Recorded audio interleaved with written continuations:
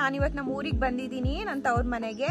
So ನಮ್ಮ ಊರಲ್ಲಿ ಹೇಗೆ ಹಬ್ಬ ಮಾಡ್ತೀವಿ ಅಂತ ನಿಮಗೆ ತೋರಿಸೋಣ ಅಂತ ಅಂದ್ಕೊಂಡಿದ್ದೀನಿ ಸೊ ಪೂಜೆಗಂತ ಹೊರಟಿದ್ದೀವಿ ನಾವು ಇವಾಗ ಎಲ್ಲರೂ ಹೇಗೆ ಪೂಜೆ ಮಾಡ್ತೀವಿ ಅಂತ ತೋರಿಸ್ತೀನಿ ಬನ್ನಿ.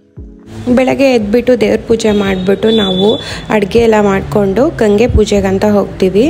ಗಂಗೆ ಮತ್ತು ಕಳಸ ಪೂಜೆ ಮಾಡೋದು ಅಂತ ಹೇಳಿ ಇದು ಹಿರಿಯರು ಬರ್ತಾರೆ ನಮ್ಮ ಪೂರ್ವಜರು ಬರ್ತಾರೆ, ಅದಕ್ಕೆ ಆಹ್ವಾನ ಆಗ್ತಾರೆ ಅಂತ ಎಲ್ಲ ನಂಬಿಕೆ.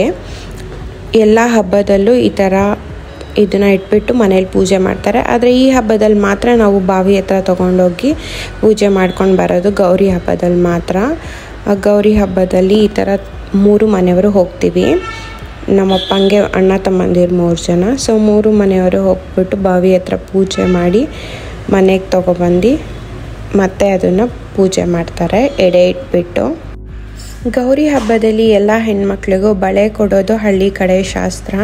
ಮನೇಲಿ ಯಾವ್ಯಾವ ಹೆಣ್ಮಕ್ಳು ಇರ್ತಾರೆ ಅವ್ರಿಗೆಲ್ಲ ಬಳೆ ಎಕ್ಸ್ಚೇಂಜ್ ಮಾಡ್ತಾರೆ, ಬಳೆ ಕೊಡ್ತಾರೆ, ಮನೆಗೆ ಹೋಗ್ಬಿಟ್ಟು. ಹೀಗೆ ಕಳಸ ಇಟ್ಬಿಟ್ಟು, ಅದ್ರ ಮೇಲೆ ವಿಳೆದೆಲೆ ಇಟ್ಬಿಟ್ಟು, ಹೂ ಇಟ್ಬಿಟ್ಟು, ಕುಂಕುಮ, ಅರಿಶಿನ ಹಾಕ್ಬಿಟ್ಟು ಪೂಜೆ ಮಾಡ್ತಾರೆ. ಕರ್ಪೂರ ಎಲ್ಲ ಹಚ್ಚಿ ಕಾಯಿ ಹೊಡೆದು ಇದು ಗೌರಿ ಹೂವು ಅಂತ ಹೇಳಿ ಅದನ್ನು ಅದ್ರ ಮಧ್ಯದಲ್ಲಿ ಒಂದೊಂದು ಇಡ್ತಾರೆ. ಗೌರಿ ಹಬ್ಬದಲ್ಲಿ ಯಾವಾಗಲೂ ಸಿಗತ್ತೆ ಅದು. ಆಮೇಲೆ ಗೌರಿ ದಾರ ಕಾಯಿಗೆ ಕಟ್ಕೊತೀವಿ, ಮತ್ತು ಕಳ್ಸೋಕ್ಕೂ ಕಟ್ತೀವಿ. ಎಲ್ಲರೂ ಗೌರಿ ದಾರ ಕಟ್ಕೊತೀವಿ. ನಮ್ಮ ಊರಿದು ತುಂಬ ಗ್ರೀನರಿನೇ ಇದೆ ಜಾಸ್ತಿ. ಯಾಕೆಂದರೆ ಬರೀ ಹದಿನೈದೇ ಮನೆ ಇರೋದು ಒಂದು ಊರಲ್ಲಿ. ನಮ್ಮಮ್ಮ ಕಟ್ತಾ ಇದ್ದಾರೆ ಇದೇ ಗೌರಿ ದಾರ ನೋಡಿ. ಪೂಜೆ ಎಲ್ಲ ಮಾಡಿ ಮುಗಿಸಿದ್ವಿ. ಹಾಯ್ ಮಾಡಿ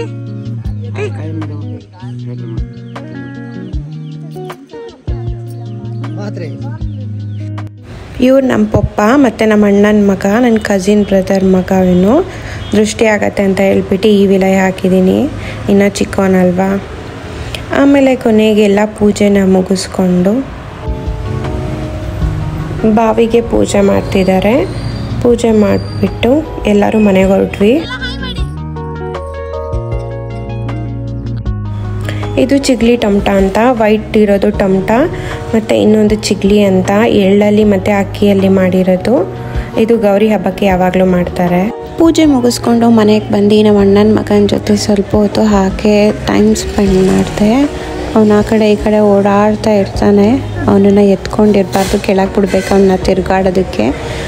ಹಾಗೆ ಸ್ವಲ್ಪ ಹೊತ್ತು ಎತ್ಕೊಂಡು ಅವನ್ನ ಮುದ್ದಾಡಿ ಸ್ವಲ್ಪ ಹೊತ್ತು ಹಾಗೆ ಟೈಮ್ ಸ್ಪೆಂಡ್ ಮಾಡಿದೆ.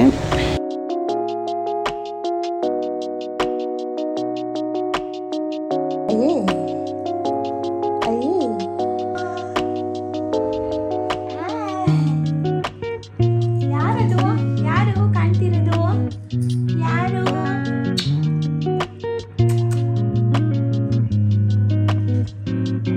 ಗಂಗೆ ಪೂಜೆ ಮುಗಿಸ್ಕೊಂಡು ಅಲ್ಲೇನು ಪೂಜೆ ಮಾಡಿದ್ದೀವಿ ಅದನ್ನು ಹಾಗೆ ಮನೆಗೆ ಎತ್ಕೊಂಡ್ಬಂದು ಮತ್ತೆ ಅದನ್ನು ಹೇಗಿತ್ತು ಹಾಗೆ ಜೋಡಿಸಿ ಮತ್ತೆ ಪೂಜೆ ಮಾಡಿ ಇದಕ್ಕೆ ಎಡೆ ಮಾಡ್ತಾರೆ. ನಾನ್ ವೆಜ್ ಮಾಡಿಬಿಟ್ಟು ನೈಟ್ ಹಾಗೆ.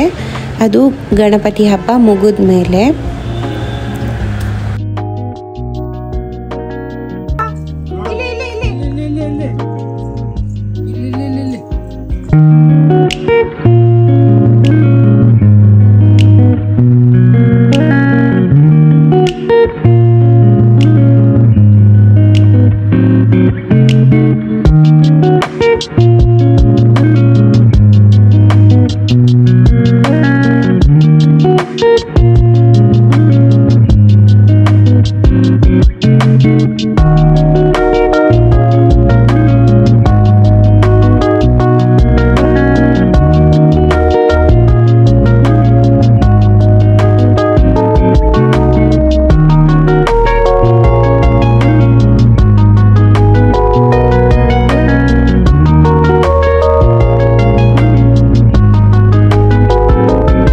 ಇದು ನೆಕ್ಸ್ಟ್ ಡೇ ಗಣಪತಿಗೆ ಮೋದಕನ ಮಾಡಿದ್ವಿ. ನಾನು ನನ್ನಮ್ಮ ಸೇರ್ಕೊಂಡು ಕಾಯಿ ಕಡುಬು, ಸಿಹಿ ಕಡುಬು ಮಾಡಿ ಗಣಪತಿಗಿಟ್ಟು ಡೇನ ಎಂಡ್ ಮಾಡಿದೆ. ಈ ವಿಡಿಯೋ ಇಷ್ಟ ಆಗಿದ್ರೆ ಲೈಕ್ ಶೇರ್ ಆ್ಯಂಡ್ ಕಮೆಂಟ್ ಮಾಡಿ. ನೆಕ್ಸ್ಟ್ ವಿಡಿಯೋಲಿ ಸಿಗ್ತೀನಿ. ಅಲ್ಲಿವರೆಗೂ ಬಾಯ್